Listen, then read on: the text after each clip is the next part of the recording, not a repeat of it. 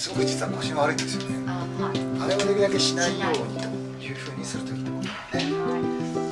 よしじゃあ今日一応4回目の注射やっとこうね。あとお気になってい。てたねそうなんです。結構赤くなっちゃってなっちゃったなあと肉球？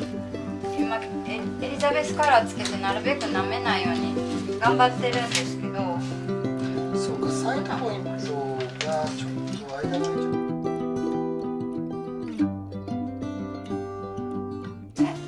動ポイントを止めてる薬なんですよ。あねはい。で出ちゃったかゆみっていうのは止まりません。だはいそれはもう薬を飲んで止めていくっていうことをねはい。やっていきましょうで1年の間でこの時期が一番かゆみが出やすい時期だと思うんですよ。は花粉も飛んでるし虫もいるので。い。はいとにかく飲みダニの駆除はしっかりやっておくことはい。草むらに入っていかないようにすることはい。食べ物いろんなもの食べちゃわないようにしましょうと。ではい。お耳はきれいに清潔に流しておきましょうとはい。ねそうだね。でも今赤いけどはい。汚れが出てるわけじゃないのではい。一回止めたかったらはい。薬を今日使って一回止めちゃう。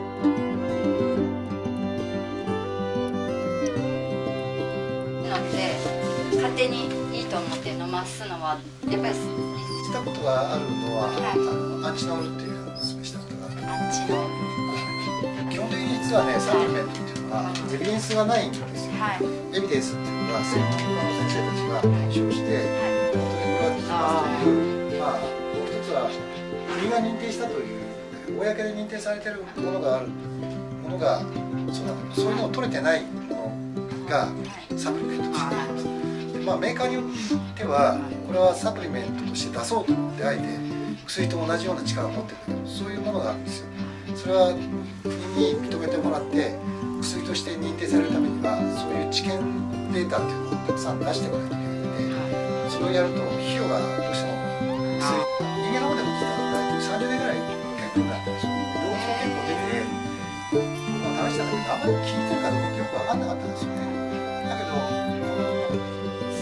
アンチノールっていうのが10年はちょっと経ってないんだけどアメリカのある有名な整形外科いいよって言って出してきたんですよで日本でこれを流通した人またそんなもんまた前こういうのあったからまたそんなことしちゃってっつって言ってたけどこれはいいんだからってその人が言ってこのアメリカの有名なその先生も深いのでからかつてはい。この手のやつって言われてで細かいことを全部開示してくれてないの。で、そのよくわからんところなんだけど一応それはねやってみるとねあのいいただこういう微妙な痛みの判定ってなかなか実は難しくて人間だったら自分でわかるじゃないですか。はい。だから犬や猫が本当に痛いのか壁痛みがやってるのかって分かりにくいんですよねただやっぱりこういう専門家の人たちがスコア化っていうのをしてみてい。ろいろやってみるとこうマットこれをね、はい。あの痛い時は最初はね2週間朝晩飲んでもらっとい。て、その後1日1個ぐらいっていう格好で、まあ、1 0キロ以下だったらそんな感じっていう格好で。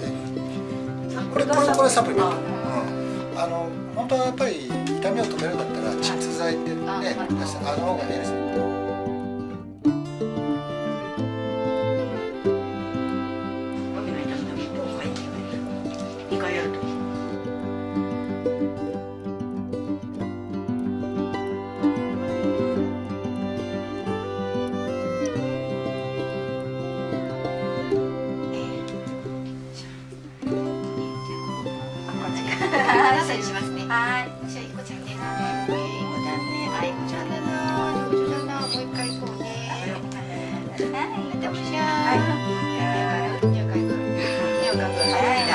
こちゃんだった。はい、こちゃんね。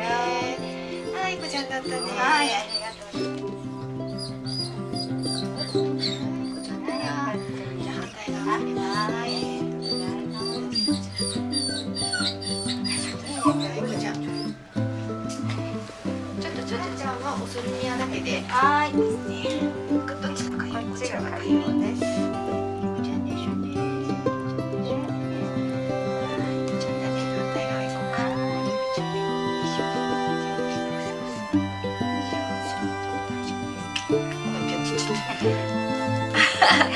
に。いこちゃんでした。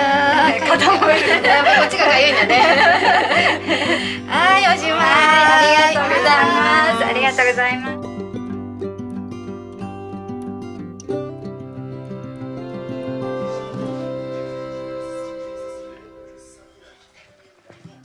はい